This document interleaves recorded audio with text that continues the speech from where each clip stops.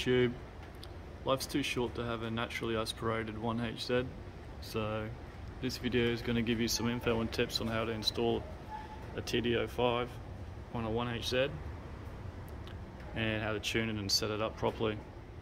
I'm not going to show you how to undo every single nut and bolt, but I am going to show you some tips and tricks to make your install quicker, cleaner and easier than mine. This is the standard DTS turbo kit. Dump and front pipe, some nice cast piping, silicone hoses, clamps, all the usual stuff you'd expect in a kit.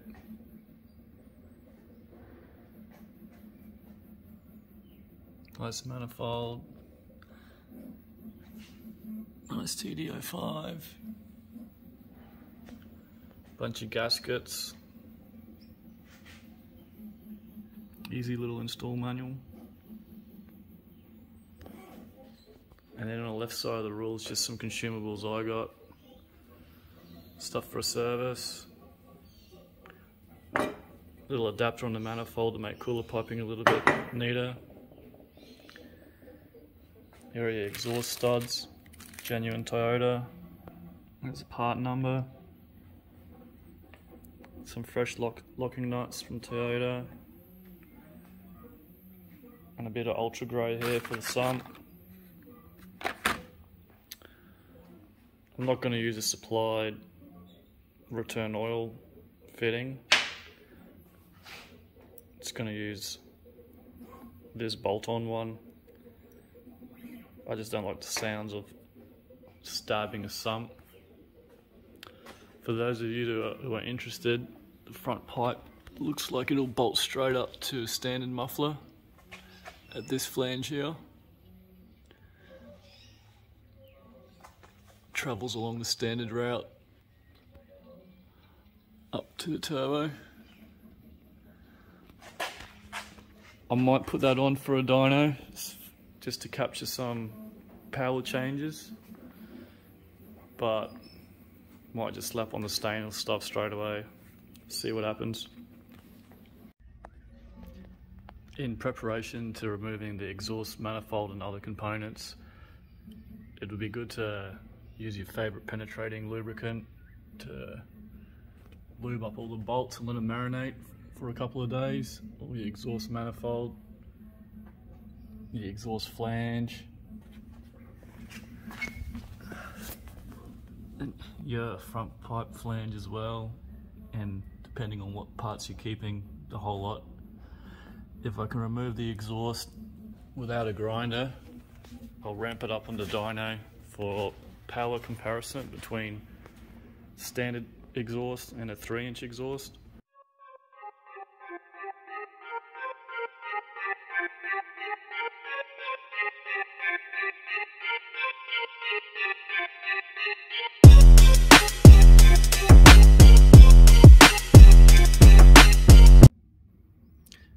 Exhaust manifold came off a little bit too easy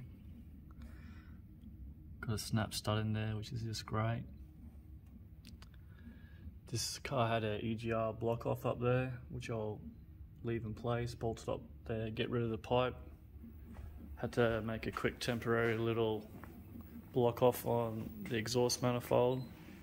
Just made it out of about 5 6 mil mild steel. Should hold for ages. If you got a broken exhaust stud, grab your easy out. Make sure your hole's nice and centered. When you drill make sure it's nice and square. Chuck your easy out in. And if all goes well you should remove pretty easy like this one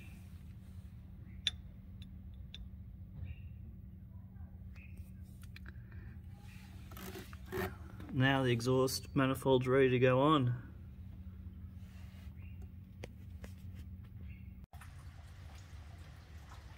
fresh genuine studs installed in preparation for the turbo and exhaust manifold assembly to go on.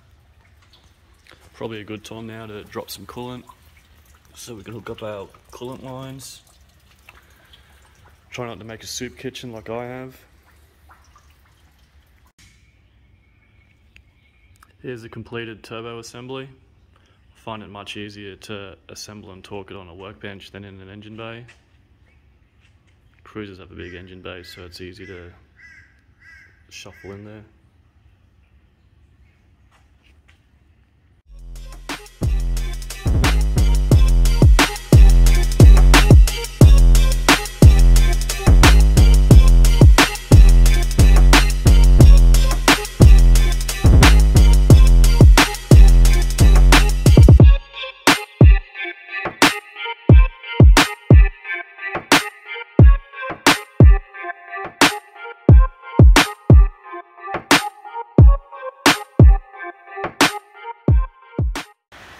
Got the manifold all torqued up. I just um, decided to install my front dump pipe so I can route my coolant lines and make sure nothing touches or foul against it.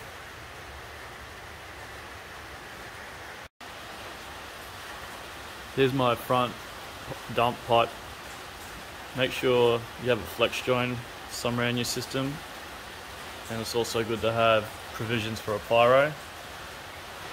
This down pipe fits surprisingly well.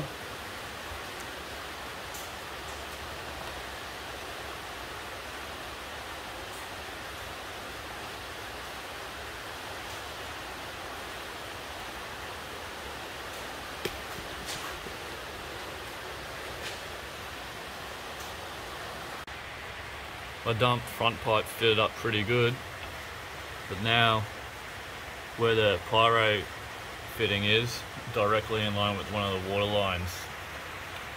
So I'll have to give it some adjustment. I'll let you know how it turns out. I managed to adjust this water line a little bit out of the way. It's pretty close to the pyro, but not pushing against it, I guess. The other line was pretty straightforward.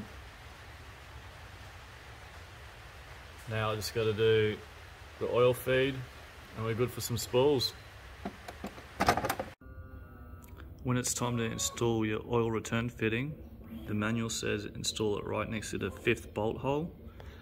I recommend offsetting it slightly so you can install your sump bolts. I decided to go between the fifth and the sixth bolt hole from the rear. That allows me to get directly below the turbo and is much closer to the factory return boss. This is how my oil return fitting turned out. I bashed the mating surface flat to try and aid with the seal. Gave it a deluxe silicon on the back. See how this turns out. Did a quick little test fit. Everything went well except for this sandwich plate fouled against the back of the sump with these two locating studs. Very snug, so I had to give the sump a little bit of an adjustment with a hammer. But it didn't take much and it came good. This lip here was fouling on the sandwich plate so just got my trusty hammer, gave it a little bit of a roll, being really careful not to distort the flange. Make sure that stays square or you'll have a pretty crappy seal. Doesn't take much, maybe two or three mil, and now it's snug and easy to get back in there. Clean the bottom of your block up as best as you can the hardest section by far is this rear section. Just take your time, razor blade, green Scotch-Brite, be gentle, don't distort the surface.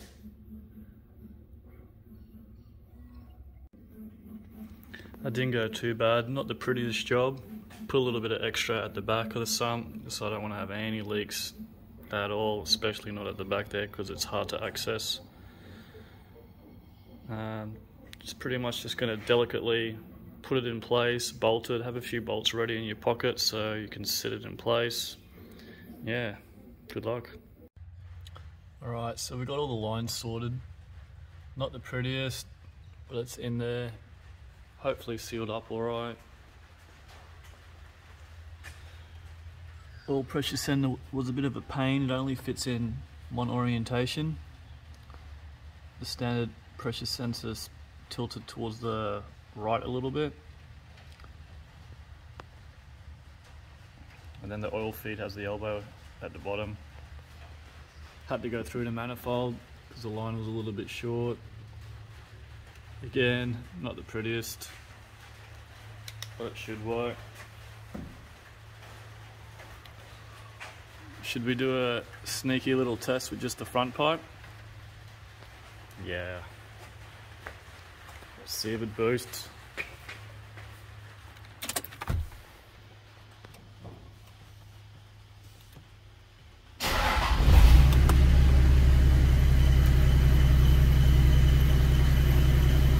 Sweet, we got oil pressure.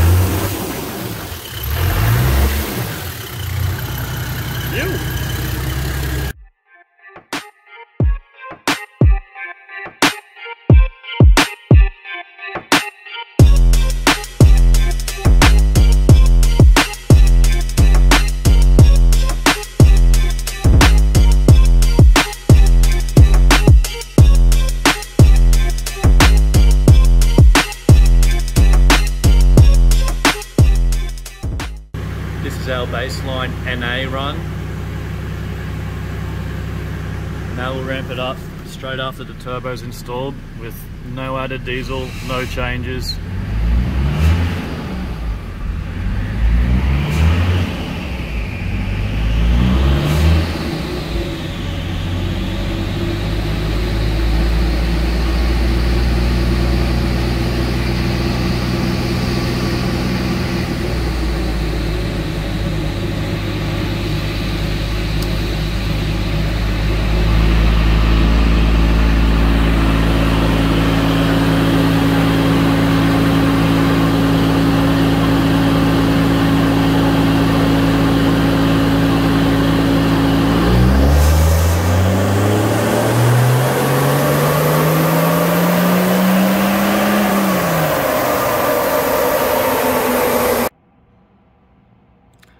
To adjust the graph scale a little bit to show the AFRs.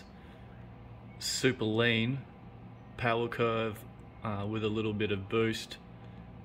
Stops being smooth as it goes completely lean. So just a nice little comparison of NA to just a turbo installed. Uh, now we'll crank the diesel in, see how much gains we make. I'll just do a quick ramp run to show you some EGTs on a very lean tune.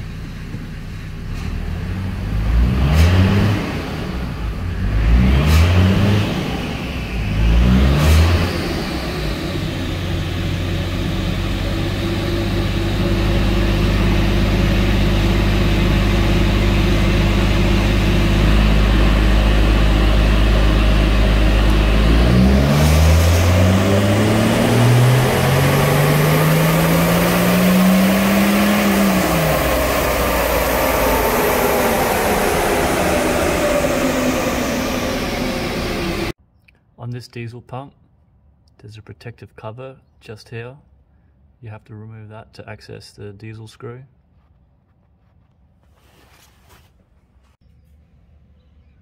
That cut was painful to remove. Had to peel it off like a banana. It had little pressed tabs on there. I also put a black mark with some center punch marks on it just as reference from where we started. Just gonna turn it up a quarter of a turn as per the DTS manual and see what we make. On the install manual provided by DTS, they're nice enough to tell you that it only needs a quarter of a turn on the fuel screw. We'll see what it does in the real world and adjust as needed. Also, grab yourself a clutch too when you start making power with the standard units. They won't last very long.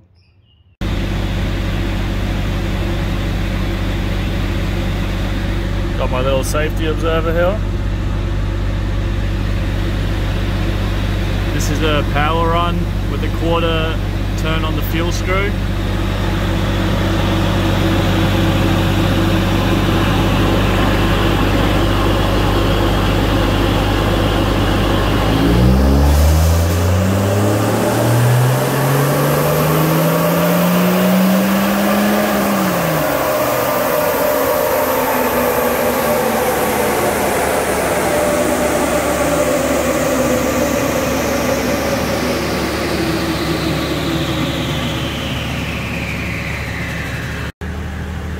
There are three back-to-back -back runs on just a quarter turn on the fuel screw adjustment.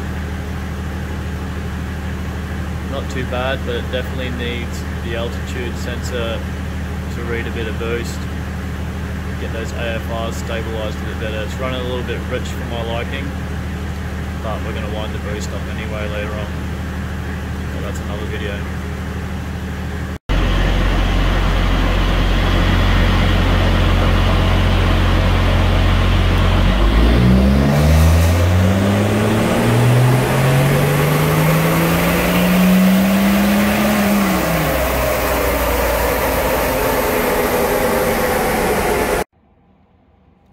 So here, compared to NA, the power difference is about 73 horsepower to 110, and AFRs are changing from about 16 to 20. This graph here shows our peak torque's gone from about 210 to 310 foot-pounds. On this graph here, you can see the impact diesel has on boost gained a couple of PSI in the mid-range just from adding some diesel. Light blue was the first power run of the day without diesel. Dark blue was the one of the last ones we just done.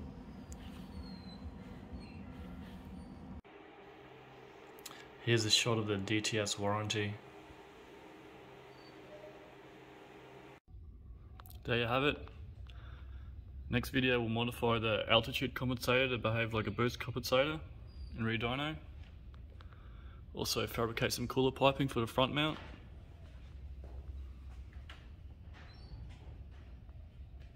Might also install a catch can and adjust the baffles below the cam cover. I recommend installing one of your coolant T-pieces below your exhaust manifold, just after the thermostat. That'll aid in reducing clutter and giving you some more room near the pyro. This DTS kit's a good quality kit and really easy to install. It will take you one day if you stab the sump, or one and a half days if you remove the sump like I did, each to their own. Hope you like this vid, stay safe, and wind the boost up.